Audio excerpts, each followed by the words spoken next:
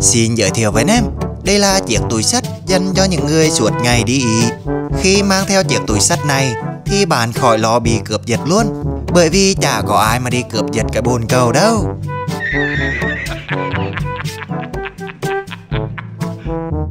Đây là cái ống hút chuyên dùng để đi xin trà sữa, trà chanh của bạn bè. Với cái ống hút này trong tay thì bạn chỉ cần hút một hơi là với một nửa.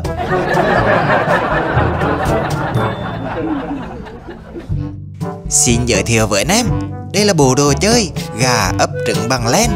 Nhưng cảm thấy con gà không biết ấp trứng, nên con mèo đã đến ấp hồ nó luôn.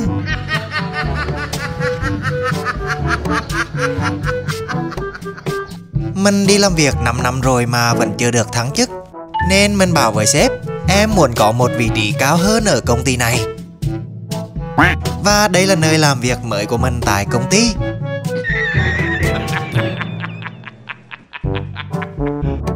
Đây là một chiếc xe máy có thiết kế tiện lợi Giúp bạn có thể vừa lái xe vừa ăn Đây là cuộc thi đại đường đang diễn ra với sự góp mặt của hai vận động viên kỳ cựu trong bộ môn này.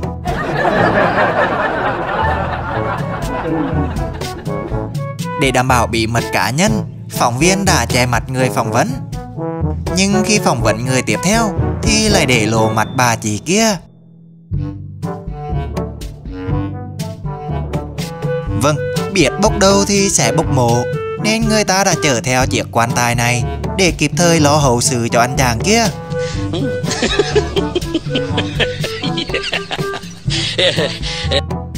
Khi bạn bị cần thị mà bạn vẫn muốn ngồi cuối lớp thì đây là giải pháp dành riêng cho bạn. Anh thờ điện đến nhà mình khoan tường Mình bảo khoan Mà anh ấy cứ tiếp tục khoan Nên đã khoan hỏng hết cái mở dây điện nhà mình. Nhìn có chán không cơ chứ?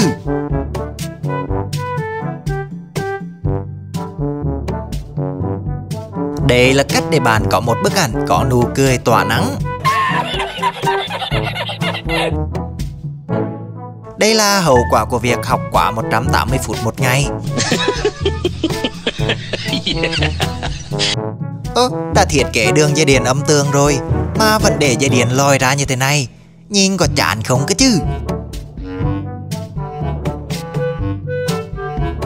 Ồ, con tuần lộc này có dạng đựng giống như con người thế nhở?